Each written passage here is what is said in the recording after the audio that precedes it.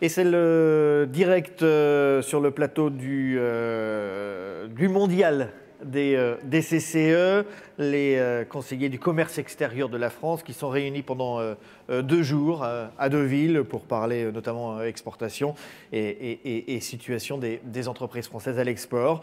Vous êtes avec nous, Olivier Morel, vous êtes avocat. Alors vous n'êtes pas avocat en France, vous êtes avocat en Angleterre dans un cabinet qui s'appelle Crips.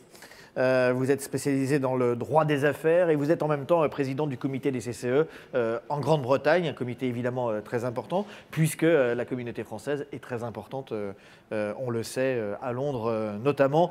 Évidemment, le sujet qui est sur toutes les lèvres en, ce moment quand on parle business et quand on parle Grande-Bretagne, c'est le Brexit. Quel est le regard, vous, que vous portez sur le Brexit et surtout, que vous disent les entreprises qui sont installées en Angleterre sur cette situation Merci, bonjour. Je suis aussi avocat français également, donc j'ai la, les- la, La double casquette. La, double vision, exactement. Merci. Euh, alors le Brexit, effectivement, vaste sujet. Nous sommes euh, dans notre mission de conseiller du commerce extérieur, nous sommes en ce moment très sollicités. Comme on le sait, une de nos missions, outre euh, l'accompagnement des PME, c'est l'information des pouvoirs publics sur les sujets du commerce international. Donc là, on est en plein dans le sujet.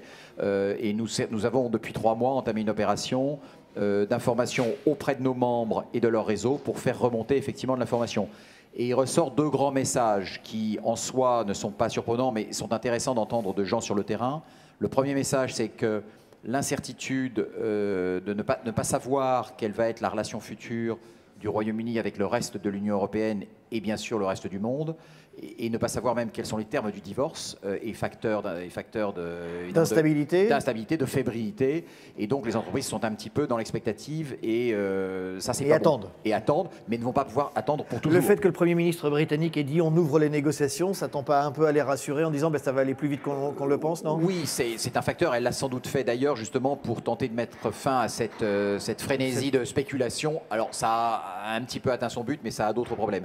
Le deuxième sujet évoqué par nos, membres et par leur réseau, ça a été euh, la libre circu- circulation des personnes, c'est-à-dire le maintien de cette libre circulation, qui est un des gros sujets, évidemment, euh, de la relation future avec l'Union européenne, euh, est un sujet recruter les talents. Donc, euh, jusqu'à présent, Par exemple bah, un groupe anglais qui, qui emploie 56 nationalités différentes, dont tous les pays Que vous européens, connaissez d'ailleurs. que je connais très bien, qui est un de nos membres, grand groupe de médias anglais, et qui dit Moi, je vais recruter des Polonais, des Lituaniens, des Roumains, parce qu'ils sont très bons dans leur métier ponctuellement. Et est-ce que plus. demain je pourrais le faire? C'est un peu ça la question Et- et- qui se pose. Exactement.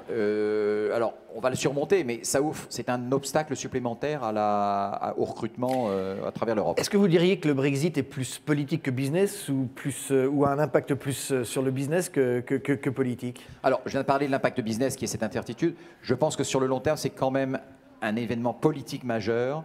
Parce que l'Union européenne, c'est un projet politique, c'est évident. Et je pense qu'il y aura plus d'impact euh, au niveau politique et qu'à la longue, les entreprises s'adapteront.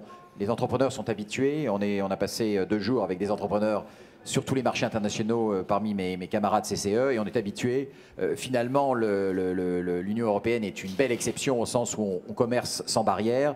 Euh, dans le reste du monde, on est habitué à ce qu'on nous mette des bâtons dans les roues, ça ne nous arrête pas. Donc les entreprises s'adapteront, j'en suis sûr. Mais donc elles vont continuer à faire du business avec, avec les Anglais?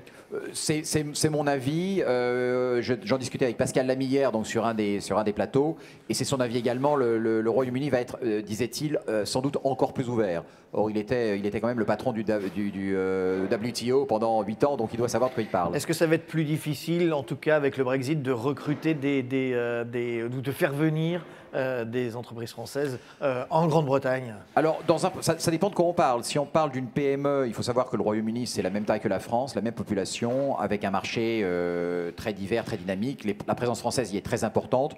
Donc, au niveau d'une ETI, de PME, qui a un bon produit au bon prix, euh, je ne vois pas ce que ça va changer. Euh, il va y avoir un environnement politique incertain pendant quelques, peut-être quelques mois, quelques années, mais je ne vois pas. C'est plus, je pense, la question pour un groupe global, un groupe américain, un groupe japonais, euh, qui va se dire est-ce qu'il faut que je mette mes troupes au Royaume-Uni ou est-ce qu'il faut que je les mette ailleurs en Europe? Alors, on a souvent d'ailleurs tendance à oublier que, les taux de croissance en Grande-Bretagne sont, presque plus importants que, que ceux en Allemagne encore plus évidemment en France. Euh, tout à fait. Euh, c'est un pays qui a une tradition d'abord d'être d'être tout seul contre tous, comme on le sait, à à une époque, mais également dans une- un passé plus récent. Il faut savoir que depuis 2008, la croissance française a été de 3%. la croissance allemande a été de 6%. En cumulé. Hein. Oui, oui, en cumulé, bien, sûr. Et donc 3, 6 pour l'Allemagne, 8 pour le Royaume-Uni. Donc c'est un pays qui, à partir de l'été 2013, s'est mis à croître. Et, cette année encore, on, parle de on sera à 2% pour 2016. Vous êtes président des, CCE de Grande-Bretagne. Vous venez de passer euh, deux jours euh, ici euh, dans cette belle ville de, Deauville avec vos collègues de, toutes les CCE de France et, du monde entier. quel souvenir vous garderez de ces deux jours?